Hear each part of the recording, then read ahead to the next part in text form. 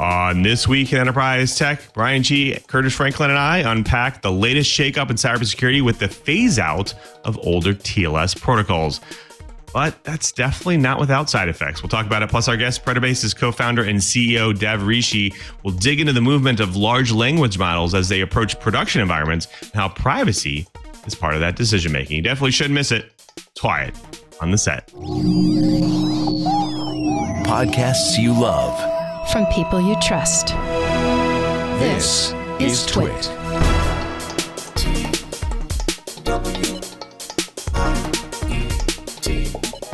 This is TWiET This Week in Enterprise Tech, episode 561, recorded September 15th, 2023.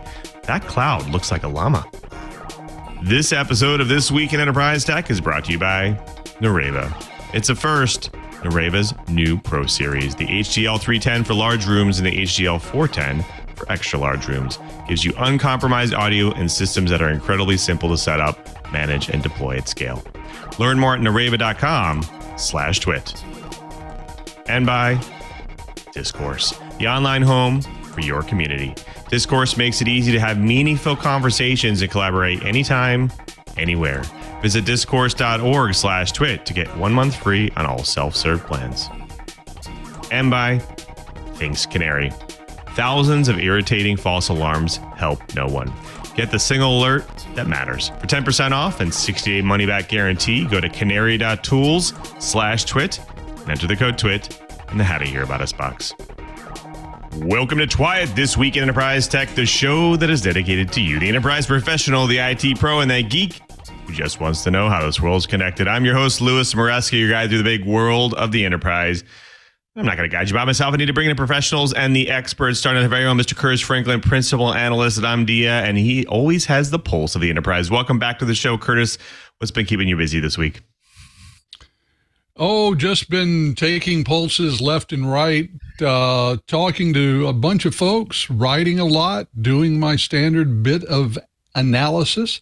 Um, the good news is that in much of the uh, security world, it's been a fairly standard week, although we did have, as so often happens, one really public cybersecurity event. Uh, the good folks at MGM Resorts found themselves having to go back to, uh, you know, just about using pen and paper to keep track of um, uh, of people who were checking in and trying to make reservations.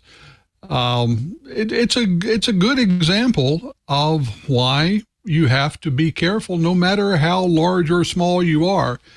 And I think it's also interesting that it's it shows us that we we like to break things down into IT, the computers in the back room, and OT, or in a home, it's IoT, but in business, it's OT, operational technology. And this was a case where an attack on the IT side whacked the OT because things like, you know, all those smart door locks um, and the various bits and pieces of things that help people check in, the little kiosks, the uh, uh, places around, you know, their retail, all of that was hammered because of, as they were liking to call it, an IT event.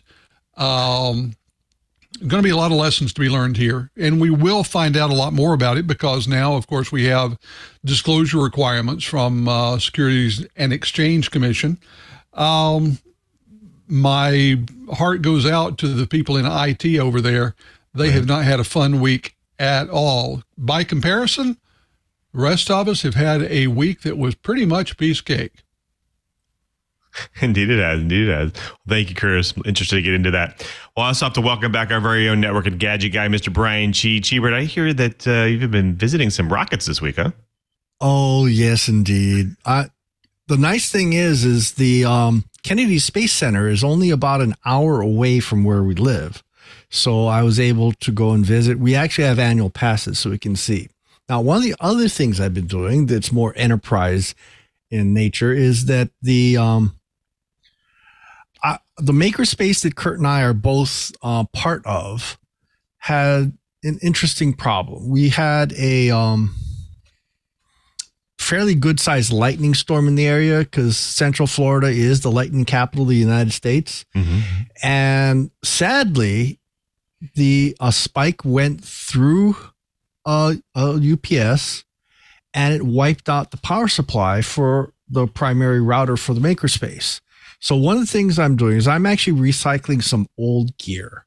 Um, Belkin and a few other people actually make DC uninterruptible power supplies. Now, just really, really quick, there are two major categories of uninterruptible power supplies there are standbys and there are online.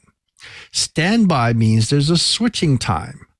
Um, so that means if you're running a really fast machine, it could actually switch and lose a couple of clock, more than a few clock cycles and possibly have problems. Online means the power is going through the inverter into the batteries, back out through an inverter, um, and then runs the actual equipment. So, one, it smooths out and cleans up power in a pretty dramatic way. But it also means that power goes away, there's no switching time.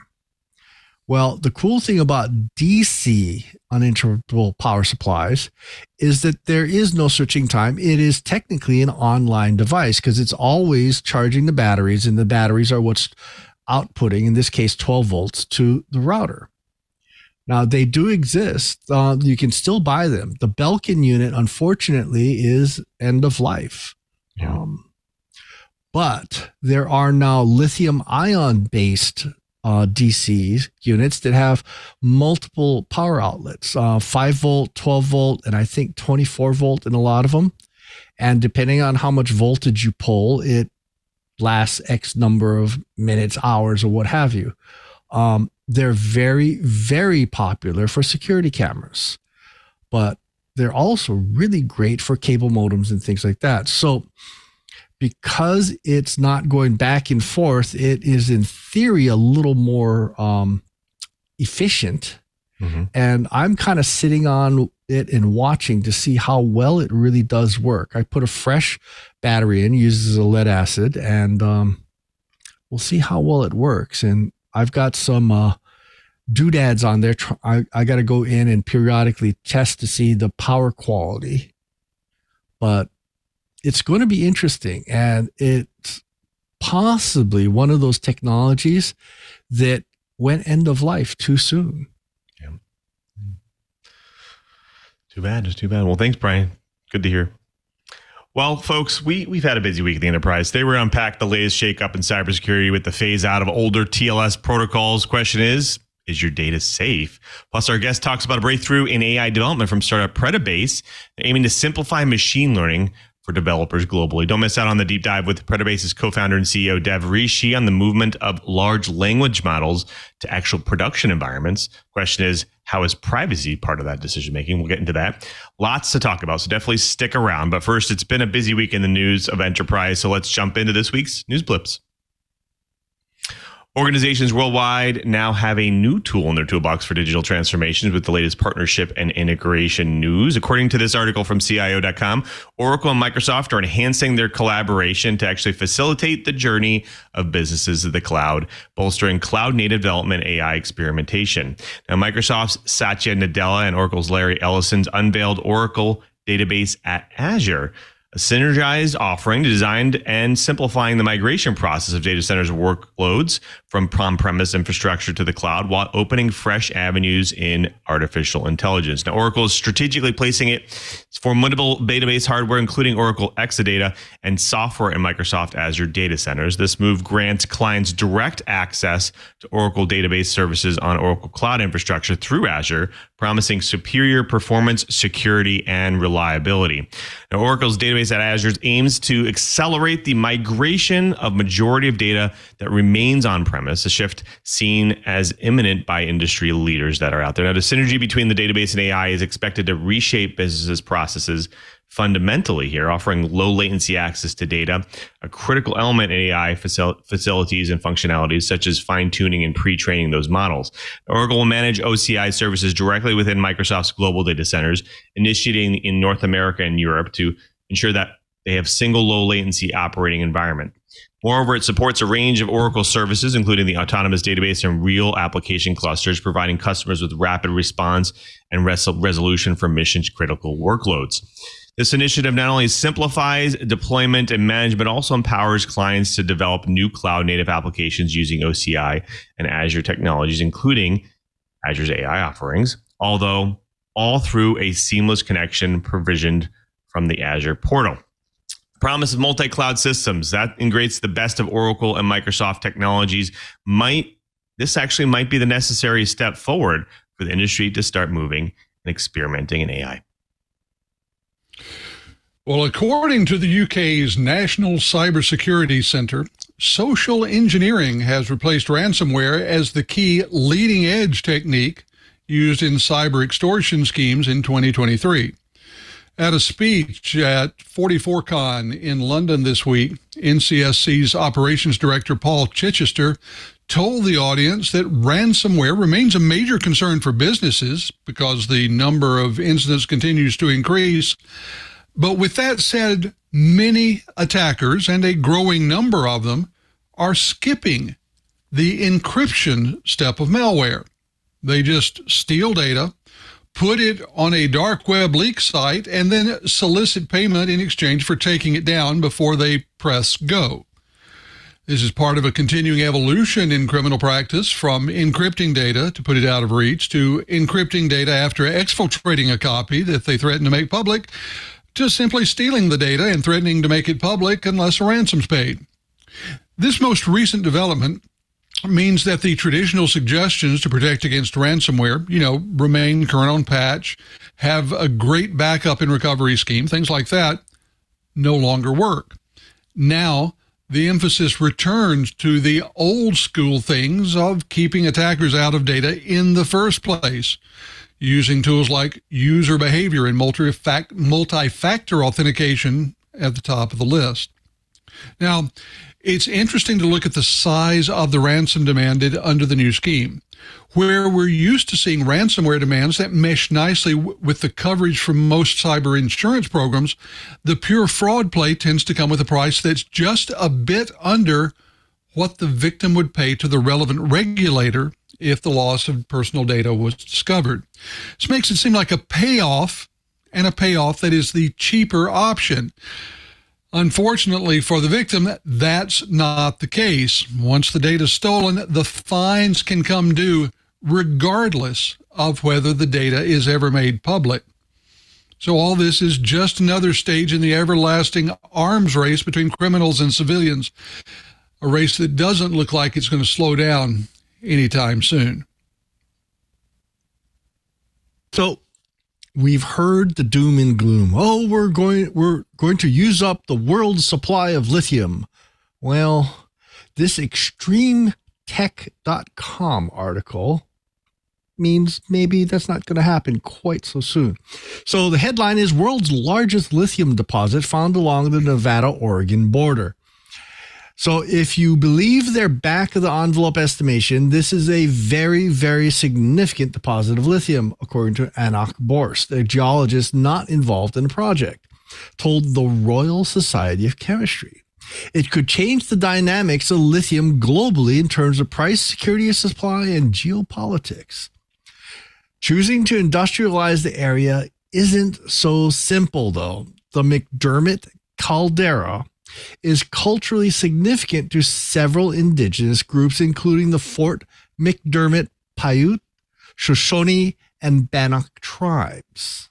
Quote, the caldera holds many first foods, medicine, and hunting grounds for tribal people, both past and present, according to the people of Red Mountain. A committee representing all three tribes and others wrote in a recent statement the global search for lithium has become a form of green colonialism. The people most connected to the land suffer while those severed from it benefit.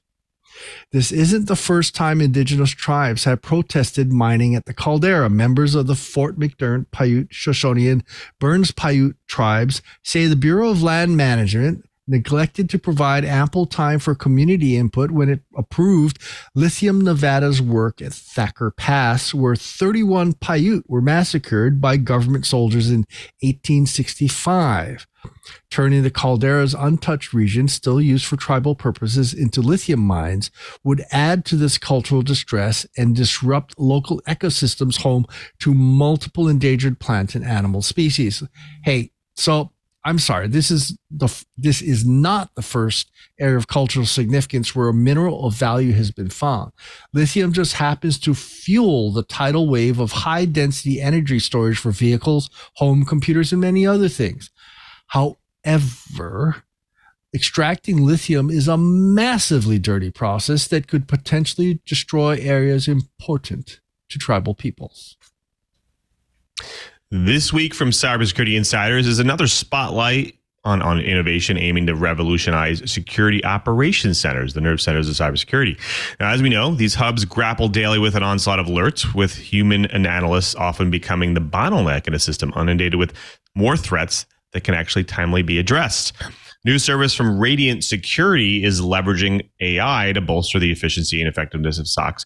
Now, dubbed the AI Copilot, sounds familiar, right? This platform integrates seamlessly into SOC workflows, promising to enhance productivity, identify previously missed threats, and accelerate response times. Now, here's how it works Radiant's AI Copilot automates the entire security triage and investigation process, grounded in a rich data set, including insights from the MITRE ATT&CK framework. It conducts a dynamic Q&A process to analyze each alert, generating a customized response plan, which analysts can then fine tune and execute on various levels of automation according to the organization's preference and situation. Now, outperforming human analysts, the system boosts, boasts a high 90% accuracy rate that's pretty good accuracy. It operates round the clock, guaranteeing an in depth analysis of every alert and potentially uncovering threats that might otherwise go unnoticed. But really stands out is its transformative potential for the role of an analyst. It promises to actually evaluate junior analysts to valuable contributors by automating triage and offering step by step guidance. Radiant even seems it sees it as more than a product and more of a commitment to transforming SOC management, empowering teams to actually respond more efficiently and effectively to threats, which could be a game changer in the complex landscape of cybersecurity. Well, folks, that does it for the blips, NEPSOC uh, news bites. But before we get to the news bites, we do have to thank a really great sponsor of this week Enterprise Tech, and that's Nureva. Nureva's media room audio technology has a history of wowing IT pros. In fact, Duquesne University has a number of 100 Nureva devices installed, and one of their senior technical analysts recently said, quote, I can't say enough about how impressed I am. Audio has been my life's work for 30 years, and I'm amazed at what Nureva mic speaker bar will do. Nureva has made another leap forward with the introduction of their Pro series, featuring the HDL 310 for large rooms and HDL 410 for extra large rooms. And for the first time, you can actually get Pro audio performance and plug and play simplicity in the same system. Now, before the Nureva Pro series, multi component Pro AV systems were the only way to get pro audio performance in large and extra large rooms. Nureva continues to amaze IT pros with these Pro series devices. Now, their online demo highlights the Nureva Audio Expert can be heard clearly from under a table, behind a pillar, or any other obstruction that's out there. It's pickup performance that many conventional systems can't match. Let's talk coverage here. The HDL 410 covers rooms up to 50, 35 feet by 55 feet with just two mics and speaker bars. Imagine equipping an extra large meeting room or a lecture hall with just two discrete wall mounted devices. You can even use them individually in a divisible room. Cool. The HDL 410 also features a unified coverage map, which processes mic pickup from two devices simultaneously to create a giant single mic array. The HDL 310 covers spaces up to 30 feet by 30 feet with just one mic and one speaker bar. Nureva is also about simplicity. The HDL 310 takes about 30 minutes to install, and the HDL 410 takes about 60 minutes. With continuous auto calibration, Nureva Audio automatically and continuously adapts to the changes in a room's acoustic profile. And with Nureva Console, their cloud based device management platform, it takes the pain out of tasks like firmware updates, checking device status, ch- changing settings, and much more. Bottom line, with the Pro Series, Nureva makes it simple to quickly and cost effectively equip more of your spaces for remote collaboration. Learn more at nureva.com slash twit. That's N-U-R-E-V-A dot com slash T-W-I-T. And we thank Nureva for their support of This Week in Enterprise Tech. Well, folks, time for the news bites. Now, this week, we're going to talk a little bit about moving protocols forward and what it, how it impacts organizations. Throw it over to Curtis. Thanks, Lou. Appreciate that. Well, we all know that one of the things that contributes to security breaches is hanging on to old technology too long. Specifically, technology which, when it was introduced, was plenty secure, but over the course of time has been subject to a lot of different techniques for getting through its various layers of security. Well, that is true of transport layer security.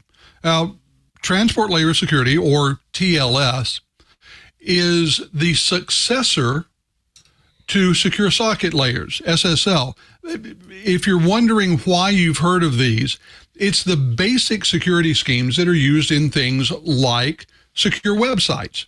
You know, if they, they are foundational security for the transactions between end users and servers through the internet. Well, when it first came out, we had TLS version 1.0 and 1.1, and they worked for a long time. They did fine, but they've been replaced. We're now up to TLS version 1.3. At least most of us are.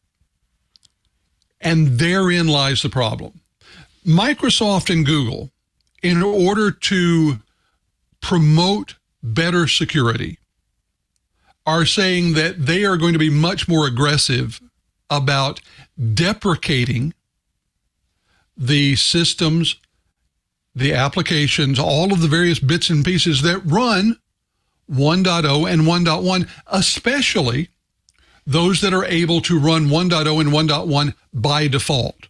Now, in a lot of cases, in order to maintain backwards backwards compatibility, they will allow people to enable 1.0 or one generally 1.1 compatibility, but they've got to go in and be very explicit about making that so.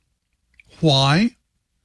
Well, it's to encourage people, and specifically, let's be honest, to encourage organizations to move to the more secure, more up to date 1.3 or at the very least 1.2.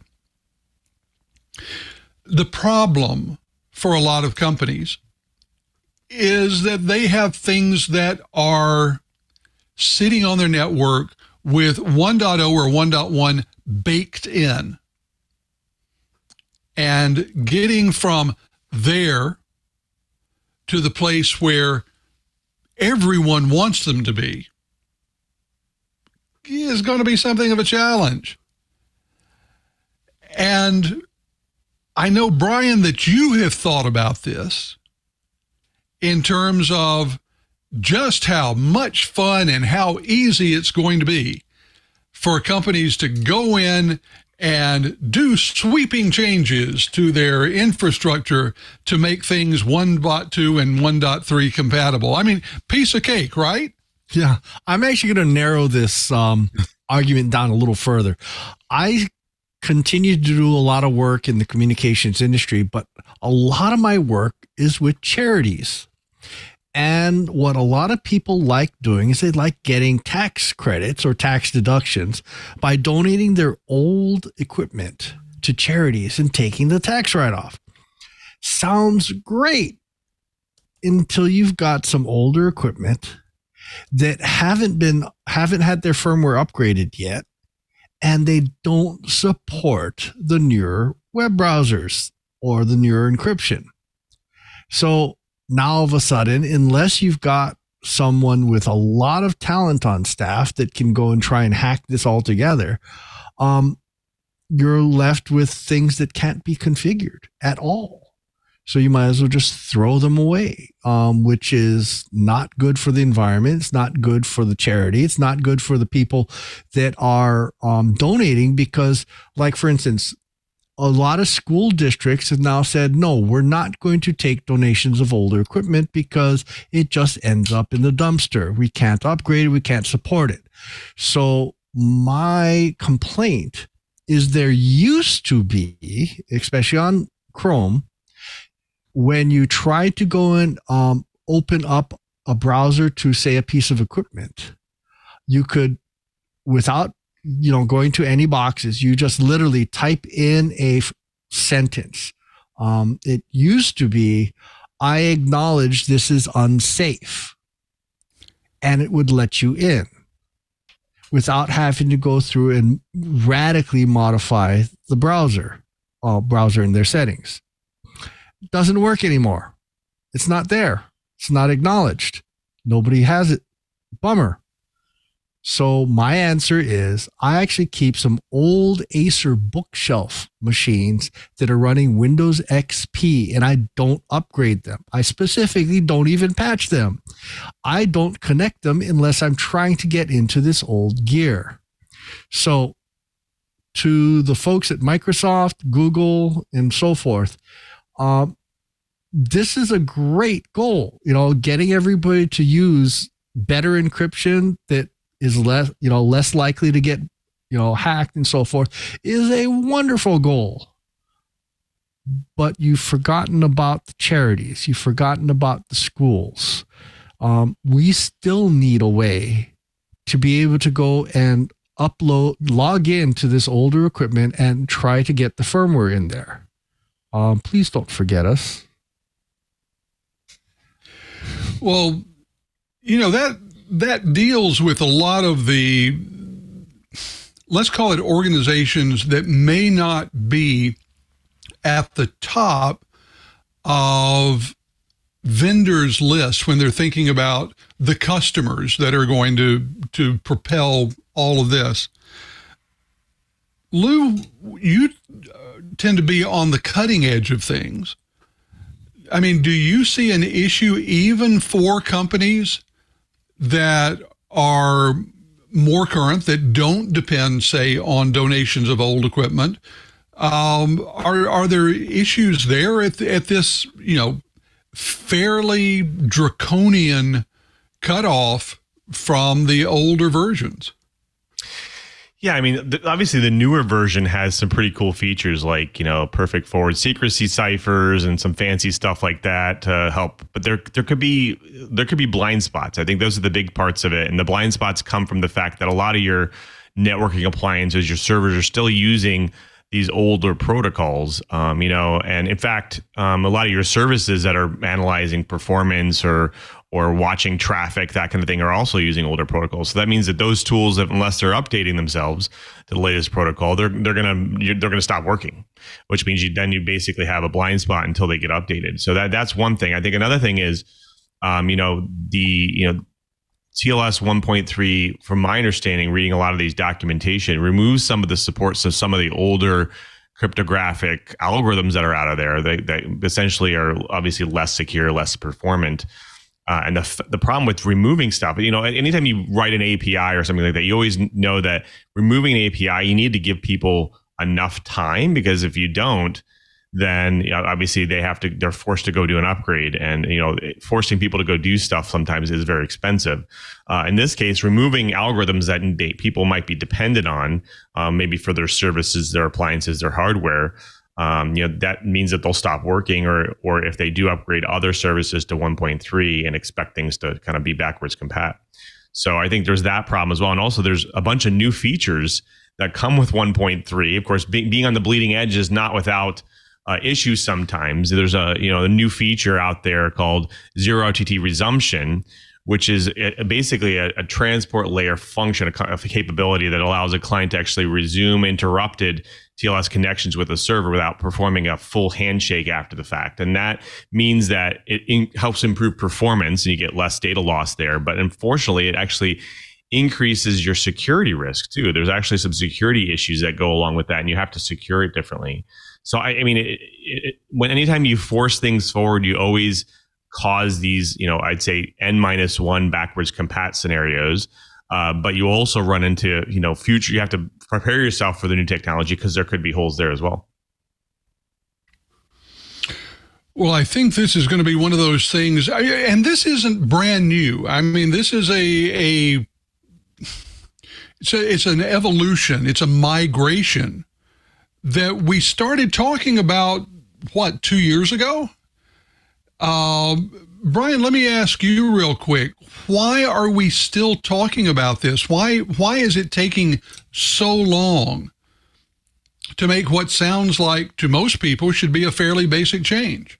It's we can't a lot of organizations just don't have the money for a forklift upgrade you know that's the bottom line the pandemic did a real number on a lot of people's budgets the economy has not exactly been super healthy and we still you know there's a lot of older gear i i would challenge a lot of our viewers go around your company i'll lay odds you have an old HP Jet Direct laying around.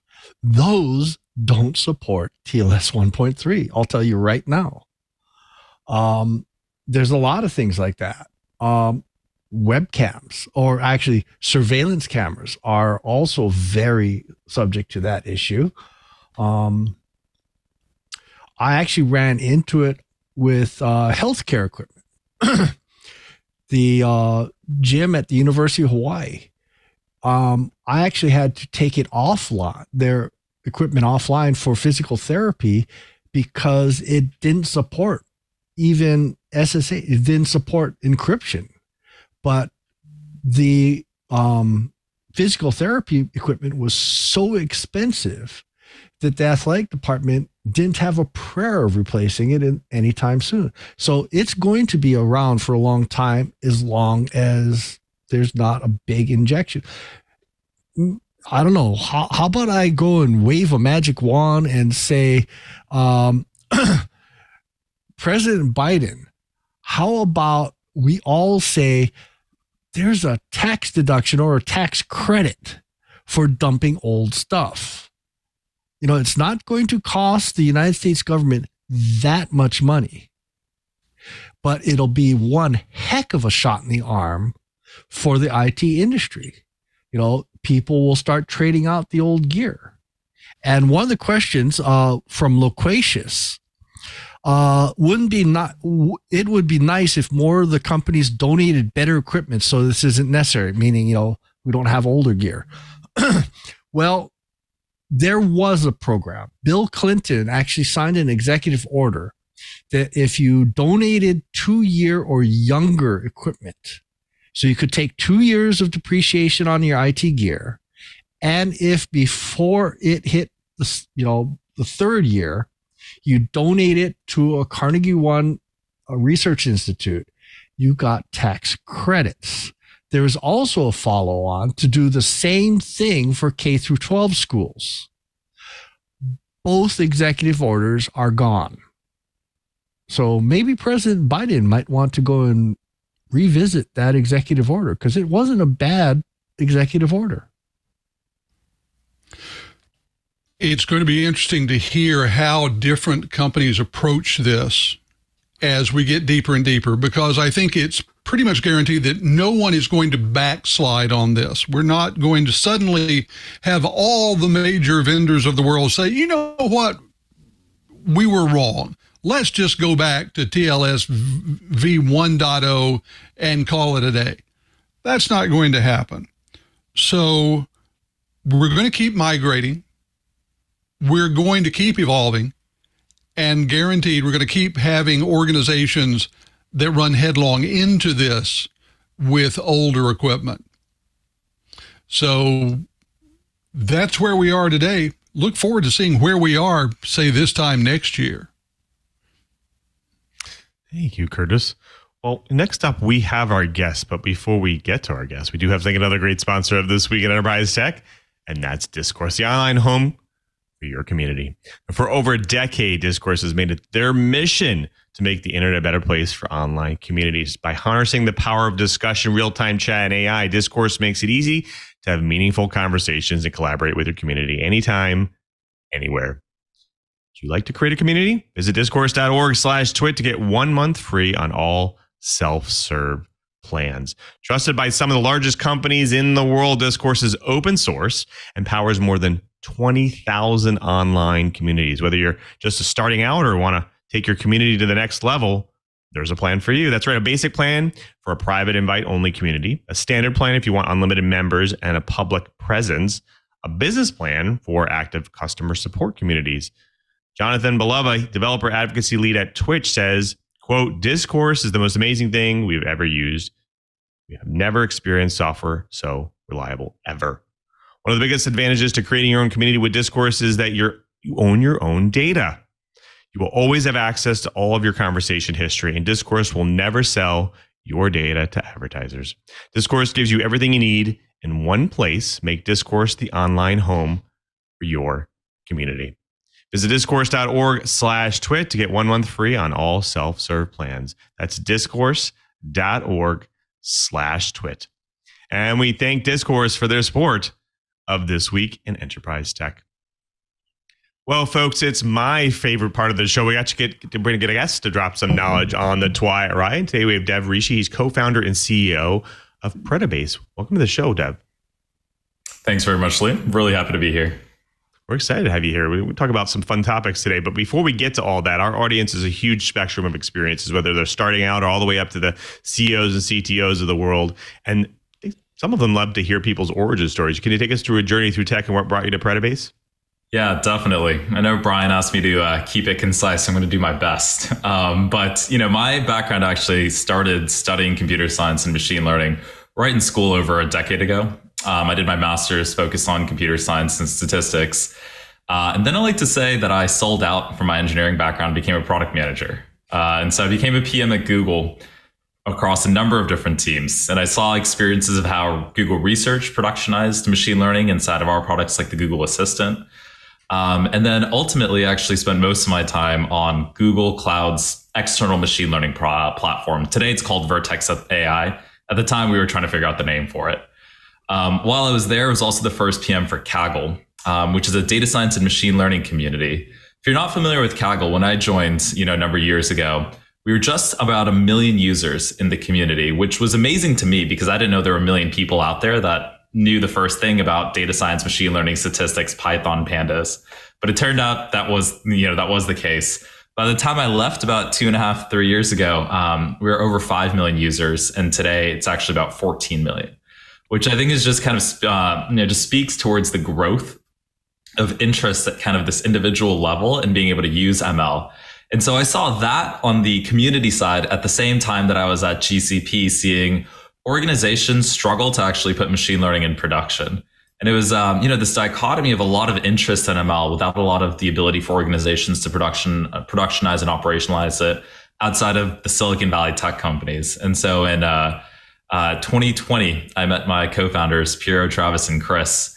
We were all excited about this new way to make machine learning more accessible to organizations. It was built on top of an open source project one of my co-founders had authored. So, you know, we started Predibase as a company to make it easier for engineers to build models um, about two and a half years ago, and we're, you know, we're excited to be uh, on that mission today. Fantastic. Now, with any ease of, of of kind of developing things, obviously, people sometimes have us take a step back. They're worried about things and what's going to happen once you move it from a testing environment, experimentation environment, into production. What are you what are you seeing? What are you seeing some of the organizations out there or even developers out there once they start on a product like Predibase or any other product that's using, you know, new technologies like some of the generative technologies that are out there? What's their reservations? What what are, what's preventing them from moving forward? Definitely. So we actually did a survey to better understand this uh, recently. We surveyed about 150 uh, professionals that were either data scientists, execs, or engineers um, at their companies, and this was across US tech companies, healthcare, financial services, and others. And one of the really surprising things to me was th- there was a two part thing that was actually surprising. One of them was how strong the interest was in LLMs and AI. Out of all the companies that we surveyed, 85% of them said they either already were experimenting with large language models or that they had immediate plans to do so inside the next 12 months to be able to start kicking off a workstream on this. Only 15% said that they didn't have immediate plans. At the same time, only 13% of the ones that we surveyed actually had a single large language model in production. And so I think we've seen this just incredible dichotomy between the level of interest and the fact that people are starting to experiment with them today and the fact that, you know, how difficult it can be to get into production. Now, we tried to understand what were some of the blockers, and I think you've heard some of them in the past, right? The LLMs hallucinate, they say things that we might not have expected. But the most surprising one was, at least in our survey, uh, three quarters of the organizations we surveyed said they just couldn't use commercial LLMs, the walled gardens behind something like an OpenAI API or any of these foundation model APIs. And so to me, that was actually one of the most fascinating results of the work that we did. Now, let me ask you a question. When you say they couldn't use them, is it because it's compliance reasons? Is it because the data is too sensitive? They don't want to. They, they want to move it outside their private boundaries. What, what is it? The main reason that you're hearing? The number one reason that we heard was privacy. Um, and it's funny, you know, that privacy really, I think, if you dive deeper and start to speak to some of these organizations, means two things. The first means their data provenance and governance. So, what do you mean my data is going to go outside of my firewalls or outside of my VPC to some, you know, third-party API? But the second is actually ownership, which is, I think, if companies actually believe which a lot of the organizations that we speak with do, that these models are ultimately going to be their IP, their competitive differentiation and advantage, then they need some ownership over the models that they're actually you know going to be relying on. Um, they they don't trust this idea of weights and models being hidden away externally, you know, instead of uh, being something that they have direct access to. And so this idea of you know privacy was the number one sided reason, but I really think that goes hand in hand with ownership. To me, this is very similar to what we saw in like, you know, some of the early stages of cloud adoption too in 2006, where we saw the staying power of these types of concerns across organizations and the need to be able to own some of this uh, and, and have that agency in house. Now we, we had Salesforce on in previous weeks, and they obviously they talked about you know all the millions of different AI models and so on that they're putting into production. And but the problem is they're not seeing fast adoption. Um, and the one thing is obviously privacy issues. How do you see organizations looking beyond this? Like, what, what do they have to get over, uh, or what do they have to do to to kind of feel better about this? Yeah, the really nice thing is that you know the history of machine learning is already in part uh, been really kind of well, uh, well versed in how to be able to solve this problem. So uh, I think that the main thing organizations need to be able to do is be kind of uh, more oriented around open source and ownership. The reason I think those two things go hand in hand is I think more and more organizations are going to realize that using a really large external commercial LLM, like something like GPT-4 or others that um, customers might be integrating in today, it's kind of like using a cannon when you need a scalpel. And instead, what you really need are much smaller, fine tuned large language models that you actually host internally inside of your VPC. Today, the difficulty with any organization who wanted to, you know, host a, lo- a very large language model, 175 billion parameters or even larger, like the ones that GPT-3 and R on are, are just getting the actual GPU compute to be able to host that is something that will be really expensive and cost prohibitive and candidly, good luck getting access to the A100s uh, in order to be able to actually even do that. And so, what I think you know organizations need to be able to shift their mental model to is, I don't need a cannon to be able to solve all of these problems. For some of them, I need a scalpel, and that really means fine-tuned, open source large language models. We've seen things like BERT, which is like a 300 million parameter model, so many orders of magnitude smaller, be really the workhorse of natural language tasks in enterprise organizations in the past. And this extends from 300 million to the recent Llama 2 7 billion and 70 billion variants that Meta uh, released as well. Um, and I think even OpenAI has spoken to how fine tuning smaller models is competitive or even better at solving specific tasks than a very general purpose model.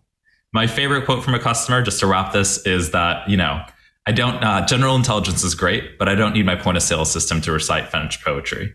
And so, like being able to have something that's a little bit more task specific, I think is really where organizations right. will go.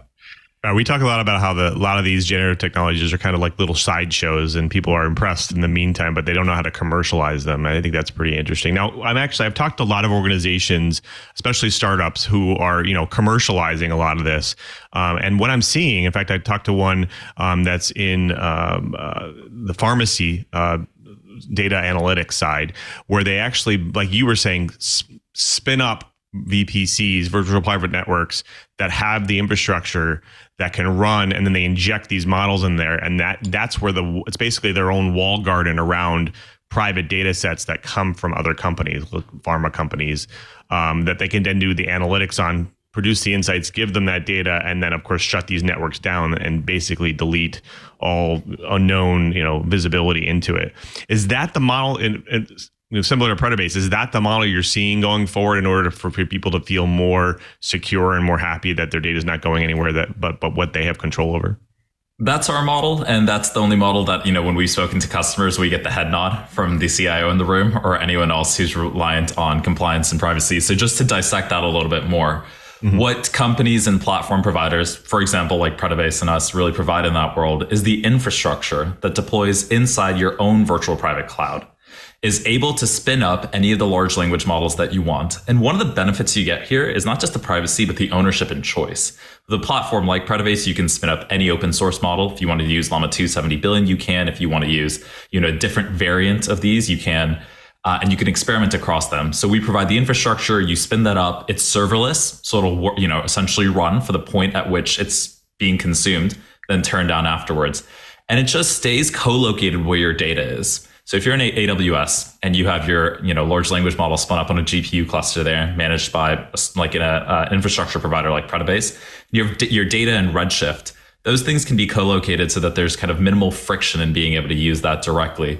Uh, and you use that data integrated in your large language model. And we can talk about ways that you can customize an LLM to your data. There's a few techniques, but you can use that data for the analysis that you need and then spin down the service so it's not actually costing you any money or you know getting more exposure after you're done so I wanted two more questions, and then I want to bring my co-host back in here. Now, I think the first thing being is most AI machine learning has been cross, cross, cost prohibitive, meaning most companies can't afford to get started on it. And if they do, uh, you know, it ends up you know scaling exponentially for them and and costing too much to maintain.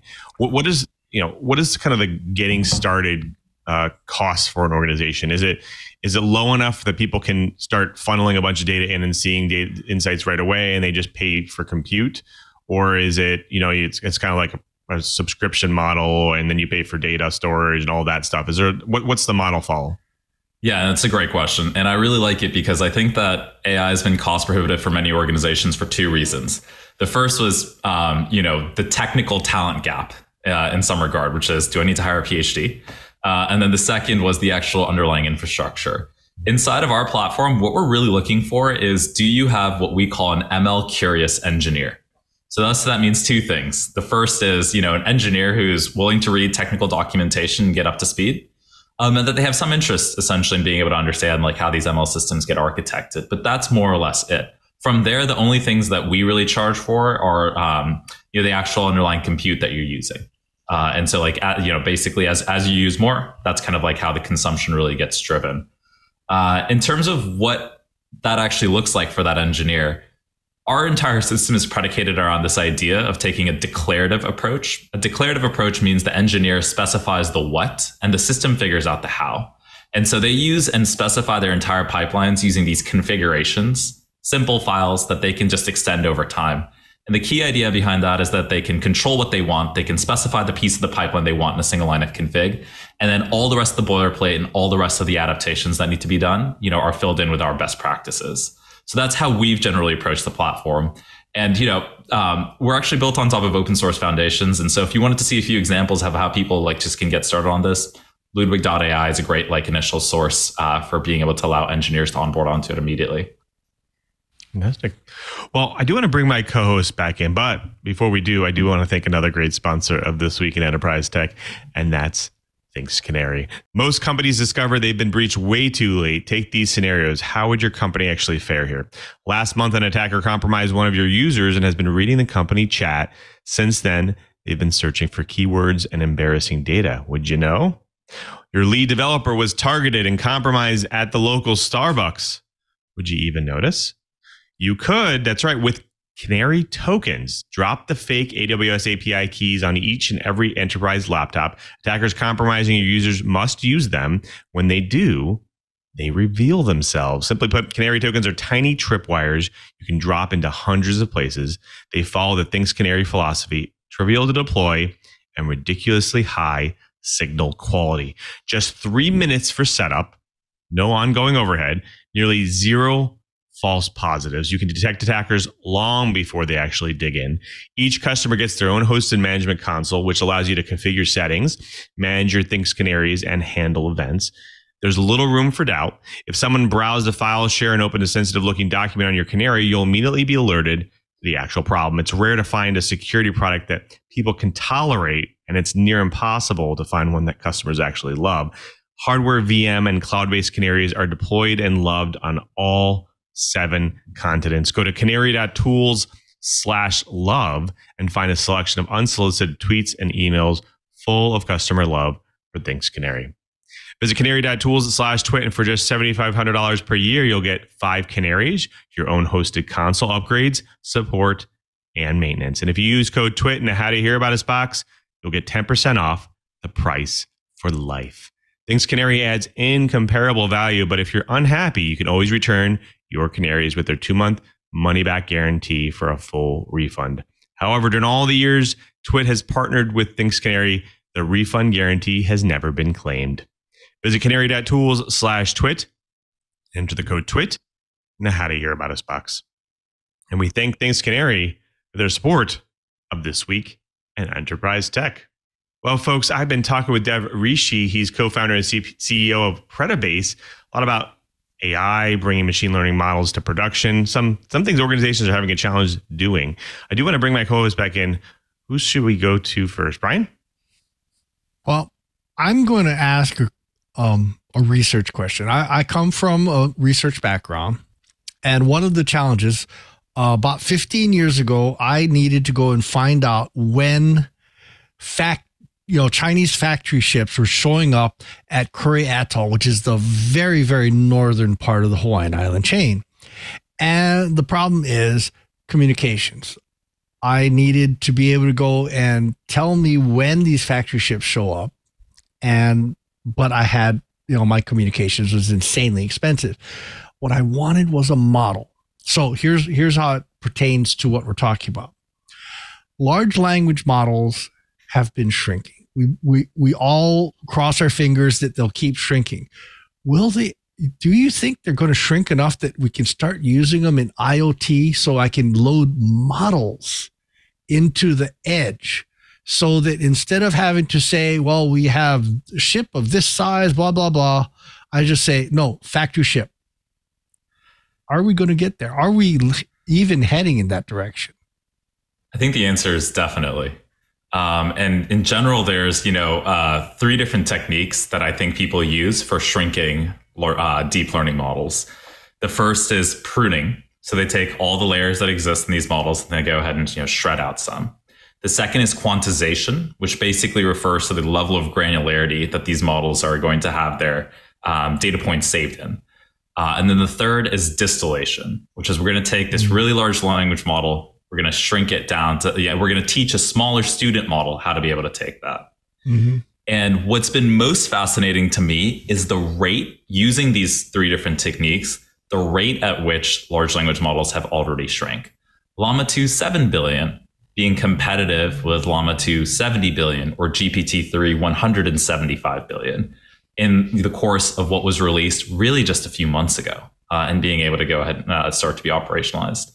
So I think that what you're going to see is large language models shrink down as well as edge and IoT infrastructure and inference be optimized for being able to run models that are on the orders of tens of millions to hundreds of millions of parameters. And I think that's going to be the world in which you're going to be able to run some of these IoT and on the edge. Uh, it reflects a trend. You know, we've seen a two part trend in a weird way, Brian. We saw like small, large, uh, small models get created let's think about you know your recurrent neural networks and others that had some limited number of layers all the way to the large language model end, where you started to see new capabilities really start to get you know uh, demonstrated. And now we're really basically scaling those back and seeing how much can we get away with. And the trend I think has been really positive, and it doesn't seem like we're anywhere close to being at the edge of our you know optimizations. The very last thing I'll say on this point is even internally in our testing, we're able to serve now a Llama 2 7 billion model on a single T4 GPU, which is one of the most commoditized, cheapest instances of GPU C on AWS. And so I'm very optimistic for what will be able to happen on device in a year. Well, speaking of GPUs and processors, um, I happen to have an Intel neural processor. It's actually a USB job. And the original tutorial I got was okay, first off, spin up Debian and do things. GPUs were at that time going crazy because everybody's trying to do Bitcoin mining, couldn't get GPUs. Interestingly enough, neural processors, uh, uh, sadly, I'm under non disclosure, so I can't say who, are starting to appear on single board computers for specific reasons. Is a GPU really necessary, or are neural processors enough, or are they just apples and oranges when it comes to large language models? I think the difficulty you get is that there's the advantages on GPUs, and specifically, I'll say for now, NVIDIA GPUs in large worlds for two reasons. One of them is like the underlying chipset and the way that those are optimized for the types of matrix multiplications you need in these LLMs. But the second, which I wouldn't underestimate, is actually the software stack that's been built on top of these GPUs. And with NVIDIA, I'm also talking especially with about CUDA. And so one of the difficulties I think is not only being able to run these models on top of, you know, the underlying hardware, but also the ability for the software to be something that a developer, let's say the average developer at, you know, a tech company uh, or at another organization would be able to actually start to um, run inference on and be able to train.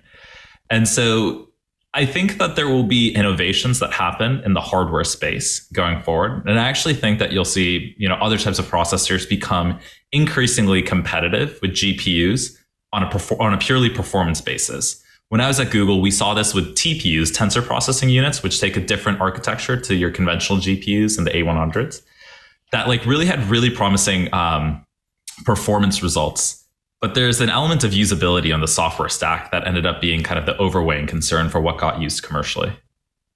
Well, you know, you've been talking about the the limits that can be placed on LLMs and have them still be LLMs. Um, do you think that we're going to be able to convince enough executives, enough people who make purchasing decisions that you can have these limits and still have useful AI with good guardrails. I mean, there are a whole bunch of issues here. Um, I I think that it's probably because of the way that LLMs have delivered their results in a very human-like language that has spooked the living daylights out of people. I mean, where do you, where do you see that coming down? Is is it, first of all, do you think my analysis is is correct there, and do you think there's a good, useful way to fix it? I think your analysis is correct, and I think that the way that I think about the useful way to fix it is really on the orientation of use cases that execs think about LLM solving in their organization today. So, um, you know, we one of our board members is from uh, investment firm in, uh, uh, in Palo Alto called Greylock sits in a lot of other uh, enterprise organization CIO meetings. And one of the most consistent things that they've said over the last two quarters is that every C level meeting, at every board meeting that they've been a part of, what is our AI strategy has been something that the CEO, the CIO, you know, the CTO have all been asking. And so the great news in my mind, really, there, Curtis, is that we actually do have a lot of that top level exec buy in that this is something that we need to be able to do. And I think this might be a little bit a little pessimistic, but like a little bit of existential fear that if company A uses an LLM and company B doesn't, company B is no longer going to be competitive over five to ten years if they're automating some of their some of the tasks company A does. So I think there's a lot of that push. Where I see it a lot fall down is actually just picking the wrong use cases for LLMs right off the bat. And if there is a single piece of advice that I would give to execs that are looking at it, you know, evaluating LLMs for their internal use cases, it would be to start simple. And so what I mean by the wrong use cases is I've heard a few organizations that saw the generative kind of capabilities that these models had. And one of the th- types of questions that they want to ask is, you know, how should I maximize my revenue at my organization? The truth is like the org- like single model, that's a hard question for a CEO to answer. And a single model probably does not have those answers themselves either. Instead, I would orient people to start thinking about use cases where number one, non-determinism or the fact that the model might put out something that you know isn't perfect is okay. Uh, and number two you have the data to like actually build a competitive moat and edge. And so some of the use cases that we see have a lot of success i would say are around personalization and recommendation systems it's okay within some reason if i you know show you three different um, let's say products and one of them wasn't the one that you were going to click um, and similarly, on classification tasks that are trying to automate things like customer support and others, where you have a human in the loop, and an LLM is really just making them a lot faster. And so, with the exact level of confidence you know, uh, or con- um, conversations, what I really think I would emphasize is like start on the simpler end. Don't think of an LLM as um, you know general artificial intelligence. Think of it as a really efficient way to be able to solve one task specific problem that involves natural language. You know, I, I love what you're what you're saying there, and it, it fits nicely with what I hear a lot of in my segment of the market, which is security, where people are talking about LLMs as human assistance, something that increases the effectiveness of a human operator rather than something designed to replace a human operator. I, and you know, I, have got to I've got to ask because I'm, I'm going to I'm going to use a a current event to ask you a question. We've got a couple of major strikes going on in Hollywood, hmm. where one of the major issues from writers and from actors is that producers apparently believe that artificial intelligence can replace the humans in those roles. And I've heard in other circumstances with, say, a merger, a CEO saying, well, we're going to get efficiency because we're going to replace 50% of our administrative workers with AI in the next two or three years. You know, where do you come down on the realistic prospects of AI wholesale replacing large swaths of the workforce. Is is that some executive getting way ahead of themselves, or is that something that we really do need to be thinking hard about right now? When you say wholesale replacement, you impose a very high bar for what the models need to be able to do in order to be successful. And by the way, I think we see this with self driving, which was didn't self driving feel like it was around the corner in 2015? um, but it turns out you need to get every condition right how it drives in snow, you know, what it's going to do with a bicyclist. And that's critical if you're going to take the driver out of the driver's seat. Instead, I think the much more likely outcome and the organizations that are going to be successful over the next 12, 24, and 36 months are going to be the ones that recognize these models augment each uh, each user of the model to be a lot more efficient. I wouldn't trust the LLM to write me a full script but I would trust a script writer with an LLM to write me a script two times faster than one without it. And so that's where I really think you're going to see, um, you know, the, these types of like uh, LLMs pushing the boundaries of productivity. Then the organization will need to make the determination of I have my script writers and they're, you know, two times faster, I have these other workers and they're a lot more efficient. Do I want to make more of the same goods and services that I was doing, or am I happy at the current level of output? But ultimately, I think that these models' fundamental weakness is really their non determinism, they're probabilistic. And the best approach we have to be able to hedge that out today is to have a human in the loop. And I think that will continue to be the case the next 12 to 24 months. And I'm saying that as someone who's very bullish on this technology, I think it is very much a human in the loop model. Well, thank you, Dev. Really interesting topic. We re- really appreciate you being here. Unfortunately, we're running low on t- time. We wanted to give you a chance to maybe tell the folks at home where they can get more information about Predibase and maybe how they can get started. Definitely. So, um, you know, please check us out, predibase.com. And the easiest way to get started with us is just to go to our free trial. Um, you'll be able to use it for free, test it out, see if it actually lives up to everything that you'd like to see. We're the easiest platform in our view to be able to build and serve your own machine learning models inside your cloud. And if you want to check out our open source foundations, they're at ludwig.ai, which you can run anytime on your own as well. Fantastic. Thank you again. Well, folks, you've done it again. You sat through another hour of the best dang enterprise and IT podcast in the universe. So definitely tune your podcatcher to TWiET. I want to thank everyone who makes this show possible, especially to my wonderful co-host, our very own Mr. Brian Chee Cheebert. What's going on for you in the coming weeks? Where can people find you? I am truly hoping I get more feedback from our viewers on how well they liked that hands-on segment that we did last week on band management. Um, I threw out a few potential topics on Twitter, and I'd love to hear more from you folks. Um, what kinds of hand-on thing? You know, I was throwing out maybe we do um, wireless bypass, you know, point-to-point wireless lasers and things like that. How to do long haul copper, um, you know, things like that. What do you want? You know, if we don't have expertise in house, okay, we're going to go find a buddy or a friend that has that expertise and let's see if we can get educated. Anyway, we'd love to hear from you. I'm ADV NET LAB, Advanced Net Lab on Twitter. You're also more than welcome to throw email at Cheebert, spelled C H E E B E R T, at twit.tv. You can also send email to TWiET at twit.tv, which will hit all the hosts. Um, you folks are the ones that are going to tell us what you want. Our, you know, our numbers, you know, we, we could do better. We'd like to do better, but they're not going to get better unless you folks tell us what you really and truly want. And, uh, we'll go see if we can go and make your day. Thank you, Cheebert. Appreciate you being here. Of course, we also thank our very own Mr. Curtis Franklin. Curtis, thank you so much for being here. What's uh, what's going on for you in the coming weeks? Where can people find your stuff? Well, I've got a number of things that I'm I'm writing about. Uh, you're going to see at least one piece from me on dark reading next week, so be looking for that. Uh, might also see about uh, doing a little bit of video work over on LinkedIn. I enjoyed that. Want to get back to that.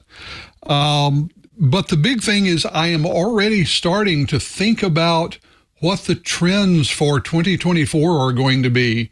And um, wait, let me think. Uh, I'll bet that artificial intelligence will be in at least one of them. That crazy preview there. Uh, but uh, beginning to think about that. And this is one where I'd love for people to let me know, folks from the Twiet Riot. So please feel free to to hook up with me on X, KG4GWA, uh, Mastodon, KG4GWA, dot mast, uh, mastodon.sdf.org, uh, LinkedIn, Curtis Franklin. Just you know, find me. I'm I'm on all the social medias. I'm just one of these wild and crazy influencer kind of people. So uh, you know, although I promise, you will never hear me telling you to emulate my hairstyle. This one is mine and mine alone. So you can't have it. Um, but I would love to hear from you if you're listening, uh, and I look forward to seeing everyone again this time next week. Thank you, Curtis. Appreciate being here.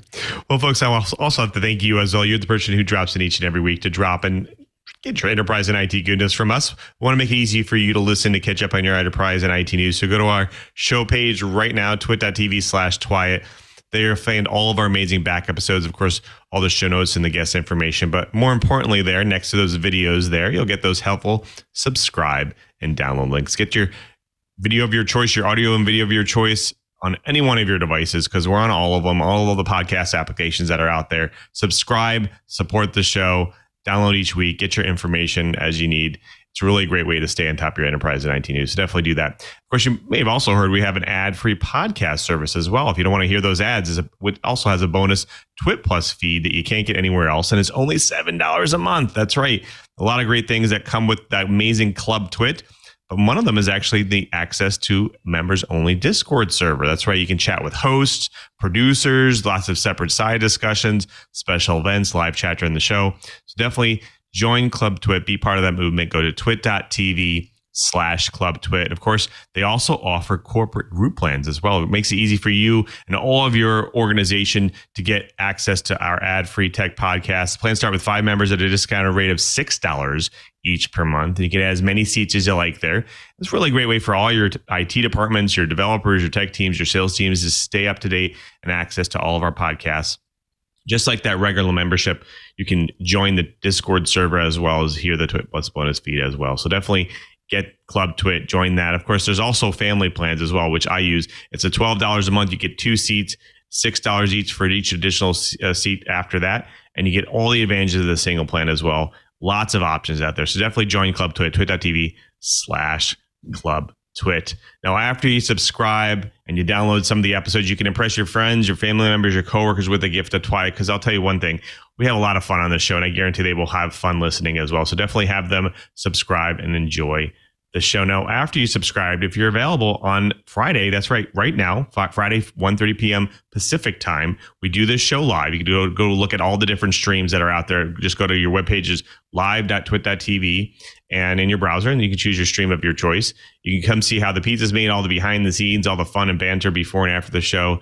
So come watch the show live if you've already subscribed and downloaded. And of course, if you're going to watch the show live, you can also jump into our amazing IRC channel as well. There are some amazing characters in there. Any way you get there is go to http irc.twit.tv, and there you'll jump right into the Twit Live channel, and you'll see some great characters each and every week. You have uh, Tech Dino, Chicken Head, you have Key 512, you have Loquacious. You get all the characters in there each and every week. Reaver, Mike. So definitely join them, have fun, be part of the show. Now, I, I, want you to hit me up every week. I'm also on twitter.com slash, slash LouMM or x.com, I guess you could say. Of course, I'm also on threads, Lou, Lou MPM over there on threads. I post all my enterprise tidbits there. Of course, I'm also on Mastodon, LouMM at twit.social.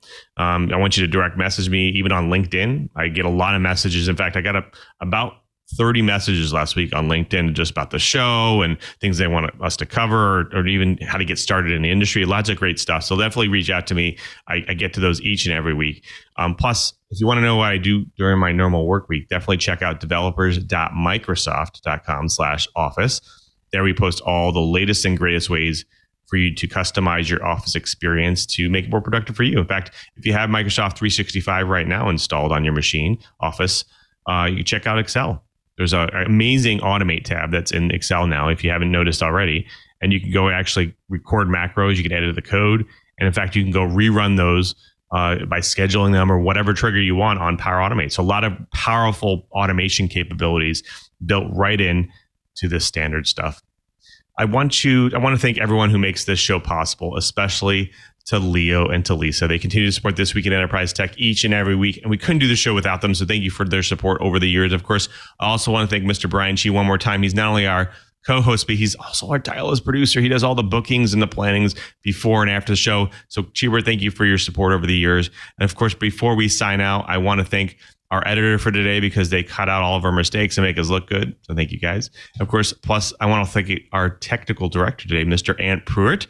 He does a lot of great things on Twit, and I'm always curious to hear uh, what's going on on Twit this week. So, Ant, uh, what's going on for you this week on Twit? Well, thank you, Mr. Lou. This week has been a little bit quieter for me for, for just for a few days, and I appreciate that. Getting a little bit of breathing room. So, been working on some stuff for the club twit stuff, but quite frankly, sir, uh, right now I'm just trying to gear up for more high school football with my boy in his senior year.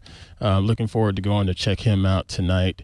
And then I'm also looking forward to trying to make sure I can master this haircut, you know, because um, I I thought I had it down pat, but according to Mr. Uh, Kurt there, apparently I ain't doing it right. So ah, ah, ah. we shall see. But yeah, appreciate the support, sir. Thank you, man. Well, until next time, I'm Louis Maresca, just reminding you if you want to know what's going on in the enterprise, just keep TWiET.